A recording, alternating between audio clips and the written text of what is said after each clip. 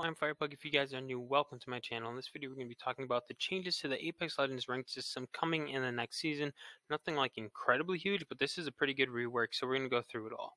The first thing here, play for the team. So now when you get a kill, everyone on the team will receive some RP. So I think that's pretty good. I think that's a good idea. Helps make it less of a, for people solo queuing, less of a just a 1v3 stuff where they're not worried about their team at all. They just want to drop, get kills, and move on. It makes it actually worthwhile for you to work as a team together, and you don't have to worry about kill stealing as much either. Play for the win. So the kill RP cap is now removed. I think last season or this current season, it is six kills and assists combined is when you stop earning RP for kills. They are completely throwing this out the window, and now you can keep earning RP no matter how many kills or assists you are getting. Speaking of assists, they are changing the assist timer. They're adding a whole five seconds to the assist timer. I'm Not so sure about this one. I thought it was kind of fine, but we'll see how this one plays out. Also, assist timers will now be refreshed upon players' revival. Now, probably the biggest thing here is going to be tier demotion. So now you can be demoted out of the entire tier itself. So, for example, say you're gold 3. You're playing ranked, you have a bad day, you drop down to gold 4. You hop on the next day, you have another bad game, you work yourself all the way down to the bottom of gold 4. So, normally in the season like this season and every season before, you would just be stuck at 0 RP into gold just at the very bottom of gold 4. This has now changed. You can now go from gold 4 into silver 1.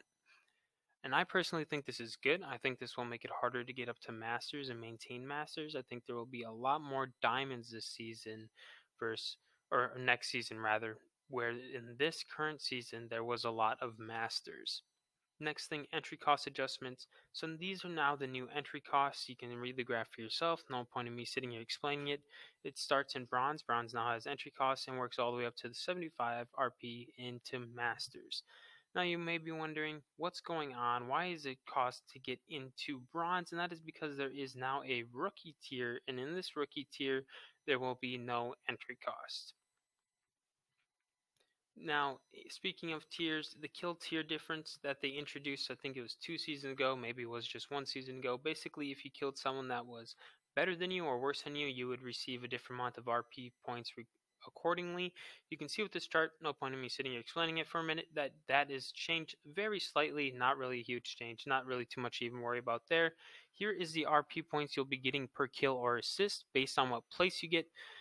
Um, so if you place first, you'll be getting 125 points for placement, and each kill or assist you got will be worth 25 points. However, if you take 14th or worse, you'll be getting no RP points for placement and only one RP point for a killer assist. So this really makes it worthwhile to try to get into those uh, at least top 10, top 5, top 4 really makes it worthwhile to try to play for that win rather than in the past where just be drop hotspot, kill four people, die, and then get into the next game. That is not going to work anymore. That is not going to get you anywhere near the RP points you're going to want to get.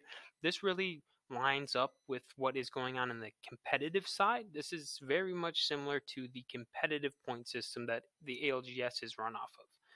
Anyways, that is all I have for you guys in this video. Let me know what you think of the rank changes. I'm personally, I'm thinking they're going to work out pretty good, but you let me know what you think down in the comments. Thank you. I'll see you later.